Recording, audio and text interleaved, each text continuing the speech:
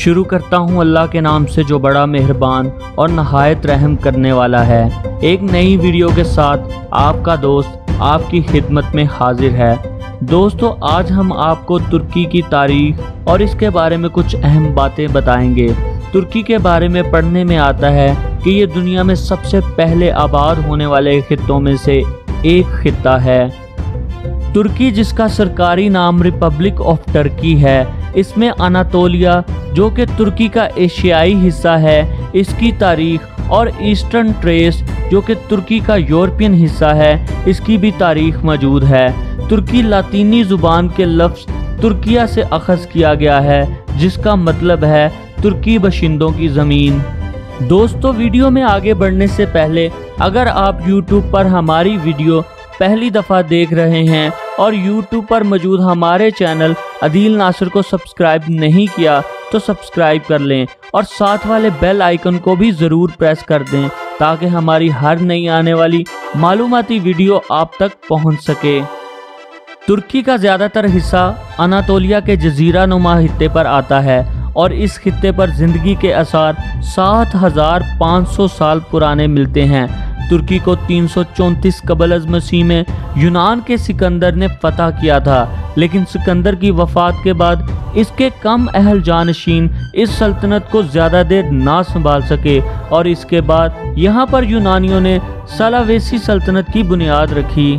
ان کی حکومت اس سلطنت پر تریسٹھ عیسوی تک قائم رہی اور اس کے بعد اس خطے پر رومیو نے عروج کی حکومت کی اور انہوں نے اناتولیا کے ساتھ شام، مصر، اردن اور فلسطین پر بھی قبضہ کر لیا۔ اور اس وقت تک کرسچینٹی کو ماننے والے لوگوں نے اس خطے پر آباد کاری شروع کر دی اور عیسائیت مذہب کی تبلیغ بھی شروع کر دی اور تین سو عیسوی تک اس پورے خطے میں عیسائیت مذہب کا پرچار بلند ہو گیا تھا۔ اور تین سو تیس میں رومی شہنشاہ قسطنطین نے عیسائیت کو خود بھی قبول کر لیا اور اس علاقے کا سرکاری مذہب بھی کرسچینٹی کو ہی بنا دیا۔ آج استانبول، جو دنیا کا خوبصورت ترین شہر ہے، اس وقت بازنٹین کے نام سے مشہور تھا اور شہنشاہ قسطنطین نے ہی یہاں پر قسطنطنیہ کی سلطنت کی بنیاد رکھی۔ ترکی کے کچھ علاقوں میں تین سو تیس عیسوی سے لے کر چودہ سو ترپن عیسوی تک رومیو کی حکومت قائم رہی، لیکن شام اور مشرقی ترکی کے کچھ حصوں کو مسلمانوں نے فتح کر لیا تھا۔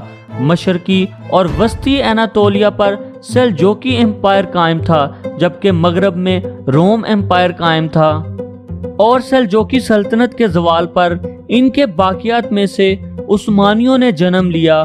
اور اس خطے میں عثمانی سلطنت کی بنیاد رکھی اور وسطی ایشیا کے مسلمانوں نے اس خطے پر ایسی حکومت کی کہ اسی کو مسلمانوں کی سب سے بڑی سلطنت بنا دیا اور اس کی ایک وجہ اسلام کی تبلیغ بھی تھی اور سترویں صدی تک عثمانیہ سلطنت دنیا کی طاقتور ترین سلطنت بھی رہی اور اپنے زوال کے وقت سلطنت عثمانیہ نے پہلی جنگ عظیم میں جرمنی کا ساتھ دیا اور جرمنی کی ناکامی کے بعد سیورے ایگریمنٹ کیا گیا، جس کی ترکوں نے بہت زیادہ مخالفت کی۔ فتح حاصل کرنے والے ممالک نے اس خطے کو ٹکڑوں میں تقسیم کر دیا اور ان ٹکڑوں پر اپنا اپنا قبضہ جمانے لگے۔ نو مئی انیس سو انیس کو ترکوں نے عسکری کمانڈر مصطفیٰ کمال پاشا کی سربراہی میں جنگ آزادی کا اعلان کر دیا اور اٹھارہ ستمبر انیس سو بائیس کو ترکوں نے تمام فوجیوں کو ترکی سے نکال دیا تھا۔ اور یکم نومبر انیس سو بائیس میں ترک پارلیمنٹ نے ترک خلافت کا خاتمہ کر دیا اور اس طرح مسلمانوں کی عظیم ترین چھ سو اکتیس سالہ سلطنت عثمانیہ کا خاتمہ بھی ہو گیا تھا۔ اور انتیس اکتوبر انیس سو تیئیس کو ساری دنیا نے ترکی کو ایک سیلف گورننگ اینٹی کے طور پر قبول کر لیا۔ اور انتیس اکتوبر کو ہی ترکی کا نیشنل ڈے بھی منایا جاتا ہے۔ ترکی دوسری جنگ عظیم جو کہ انیس سو انتالیس سے انیس سو پینتالیس تک جاری رہی، اس میں نیوٹرل ہی رہا۔ لیکن اس نے برطانیہ کے ساتھ ایک ٹریٹی سائن کی تھی، جس کے مطابق اگر جرمنی نے ترکی پر حملہ کیا تو برطانیہ اس کی حفاظت کا ذمہ دار ہوگا۔ دوستو، یہ تو تھی ترکی کی کچھ تاریخ۔ اب موجودہ ترکی پر بات کرتے ہیں۔ ترکی کا کل رقبہ سات لاکھ تریاسی ہزار تین سو چھپن مربع کلومیٹر ہے، جس کا تین فیصد حصہ یورپ اور ستانوے فیصد مغربی ایشیا میں آتا ہے۔ اور رقبے کے لحاظ سے یہ دنیا کا چھتیسواں بڑا ملک ہے، جس کے کل اکیاسی صوبے ہیں۔ اور انتیس جون دو ہزار انیس کے مطابق اس کی موجودہ آبادی آٹھ کروڑ انتیس لاکھ انچاس ہزار پانچ سو پچیس باشندوں پر مشتمل ہے۔ ترکی کی کرنسی ترکش لیرہ ہے اور ایک ترکش لیرہ پاکستانی اٹھائیس روپے اور انڈین بارہ روپوں کے برابر ہے۔ ترکی کا calling code plus nine zero ہے اور اس کا domain name dot T R ہے اور وقت کے لحاظ سے ترکی پاکستان سے دو گھنٹے پیچھے ہے۔ دو ہزار اٹھارہ کے مطابق ترکی میں فی کس مجموعی سالانہ آمدنی اٹھائیس ہزار یو ایس ڈالرز ہے اور اس کا G D P two point two nine two trillion dollars ہے۔ آج کا ترکی ایک اسلامی ریاست ہے اور ملک کے تریاسی فیصد لوگ مسلمان ہیں۔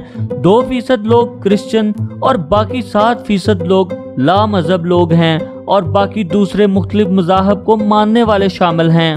ترکی کا کیپٹل انکارا ہے، لیکن استانبول اس کا سب سے خوبصورت شہر ہے۔ ترکی کا نظام حکومت پارلیمنٹری اور یونیٹری اسٹیٹ اور پریزیڈنشل سسٹم ہے۔ ملک کے سربراہ کے پاس تمام ایگزیکیوٹیو پاورز ہیں اور ملک کا موجودہ سربراہ طیب اردگان ہے۔ دو ہزار سترہ کی ایک رپورٹ کے مطابق تین کروڑ بیس لاکھ کے قریب لوگوں نے ترکی کا وزٹ کیا اور ترکی ہر سال اپنی ٹریول اینڈ ٹور انڈسٹری سے لاکھوں ڈالرز کا ریونیو کماتا ہے۔ اسی کے ساتھ ساتھ ترکیش فوڈ پوری دنیا میں مشہور ہے۔ بکلاوا شش کباب، ڈونر، کوفتہ اور ترکش آئس کریم ترکی کی مشہور کھانے والی ڈشز ہیں۔ گرینڈ بازار ترکی کا سب سے مشہور بازار ہے۔ جس کی چونسٹھ گلیاں ہیں اور تقریباً اس میں چار ہزار دکانیں بھی موجود ہیں۔ اس کے علاوہ تقسیم سکوئر اور بلو موسک بھی ترکی کی انتہائی مشہور اٹریکشنز ہیں۔ ترکی میں تقریباً تریاسی ہزار کے قریب مساجد موجود ہیں۔ ترکی کی آفیشل لینگویج ٹرکش ہے، لیکن اس کے علاوہ یہاں پر انگلش، عربی اور زازا کی زبان بھی بولی جاتی ہے۔ ترکی کی آبادی میں تہتر فیصد کے قریب اناتولین ترک لوگ شامل ہیں، اٹھارہ کے قریب کرد لوگ اور باقی دوسرے قبیلوں کے لوگ شامل ہیں۔ اور ترکی وہ واحد ملک ہے جہاں پوری دنیا کے ایک چوتھائی پھول کلٹیویٹ کیے جاتے ہیں۔ دوستو، یہ تھی ترکی پر بنائی گئی ایک چھوٹی سی ویڈیو۔ اگر آپ کو یہ ویڈیو انفارمیشنل لگی اور پسند آئی، تو اس ویڈیو کو اپنی فیس بک اور یوٹیوب اور اپنے دوستوں کے ساتھ ضرور شیئر کریں۔ اور اگر آپ چاہتے ہیں کہ کسی اور ملک کے بارے میں بھی ایسی انفارمیشنل ویڈیو بنائی جائے، تو کومنٹ باکس میں کنٹری کا نام ضرور لکھیں تاکہ اگلی ویڈیو اس ملک کے بارے میں بنائی جائے۔